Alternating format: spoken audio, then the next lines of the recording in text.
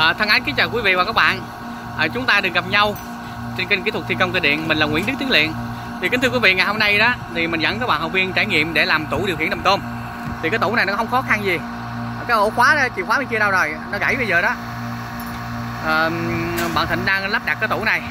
Quý vị chỉ nhìn thấy là cái tủ mình sẽ độ thôi, tại vì nó nằm ở ngoài công trường mà quý vị. Đây là hai cái máy thô khí. Ba con nó sẽ chạy được luôn phiên nha quý vị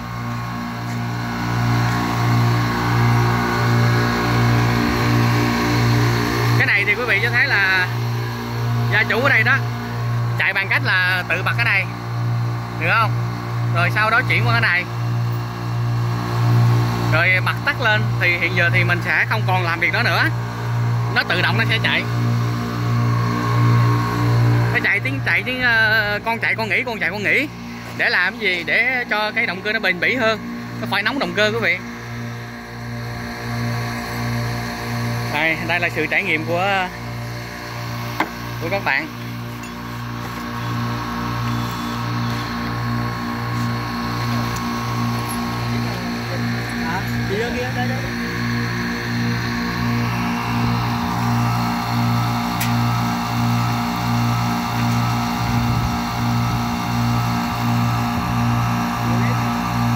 Máy thu khí làm tôm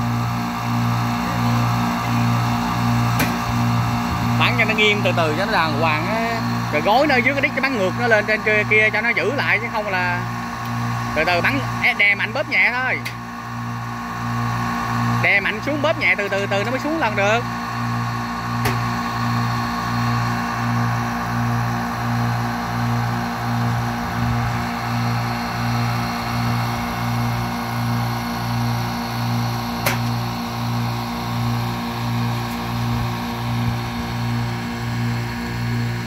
Gần Nha Trang nghe quý vị.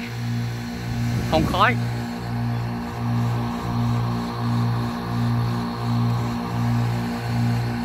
Đó, đúng rồi đó, anh nghe tiếng đó, chạy em rồi đó. Đó, bắn từ từ nó xuống chứ.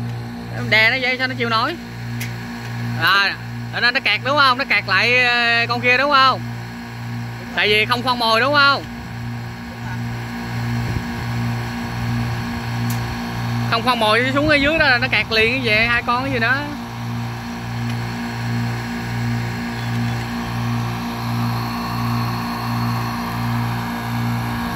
Có lỗ dưới này bắn. Giữ cứng không em? Ở trên giữ cứng vậy cứng à? Ở chủ yếu là nó, nó gá lực ở trên thôi. Cái uh, cái gì ta? Cái chìa khóa uh, bỏ cái tủ bên kia phải không?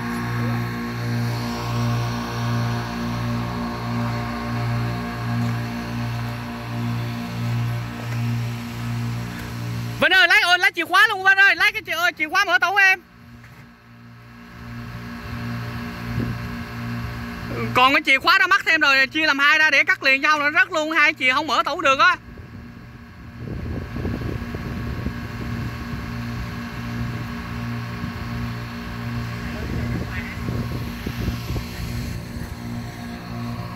Chơi chưa? Nè, bắt bắt, bắt đầu uh, neo dây ở chỗ này lại từ từ đã. Anh ấy anh cột cho nghiêm chỉnh rồi bắt đầu neo tiếp cái đoạn dây này sao mới được nghỉ nha. Rồi chào quý vị, chúng ta sẽ gặp những video sau nha đây là cô đạt quý vị